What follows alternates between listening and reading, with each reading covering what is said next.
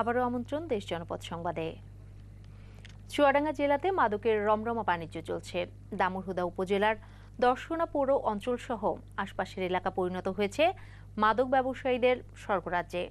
Phensedyl, গাঁজা, heroin, ইয়াবা দেশি বিদেশি মদ এমন কোনো মাদকই নেই যা পাওয়া যায় না দর্শনায়।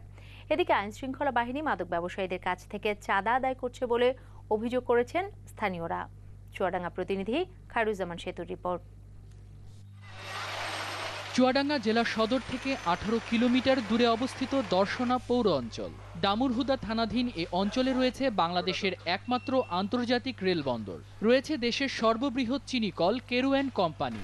সীমান্তের পাশের এলাকা হওয়ায় এখানে হাত বাড়ালি পাওয়া যায় ভারতীয় বিভিন্ন মদ, ফেন্সিডিল, গাঁজা, ইয়াবা, হেরোইন সহ নানা মাদক দ্রব্য জেলার আকুন্দবাড়িয়া ঈশ্বরচন্দ্রপুর জয়নগর বেগমপুর ও উতলি সহ আশপাশের এলাকায় সবসময় পাওয়া যায় মাদকদ্রব্য। আর এগুলোর ক্রেতাদের বেশিরভাগই হচ্ছে উঠতি বয়সের। অল্প পরিশ্রমে মানে আয় করতে পারছে এই বিধায় আমাদের সীমান্ত অঞ্চলে এই ব্যবসা চলছে।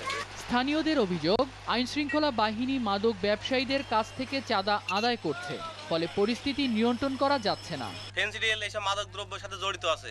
এরা প্রতিনিয়ত মানে খোলা বাজারে ওপেন এরা বিক্রি করছে। মাদক ব্যবসায়ীরাও বলছে গ্রেপ্তারের ভয়ভীতি দেখিয়ে তাদের কাছ থেকে চাঁদা আদায় করে আইনশৃঙ্খলা বাহিনীর সদস্যরা।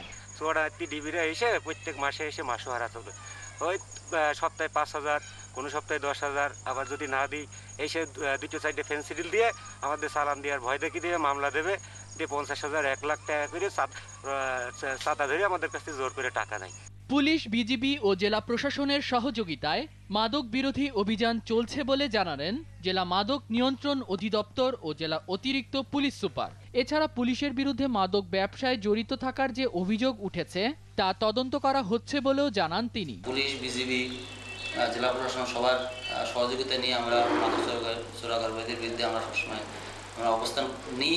স্বাভাবিকভাবে কিছুটা মাদক পাওয়া যায় আমি অস্বীকার করব না। তবে মাদকের বিরুদ্ধে আমরা নিরলসভাবে কাজ করে যাচ্ছি। নিউজ ডেস্ক দেশ টিভি রাজ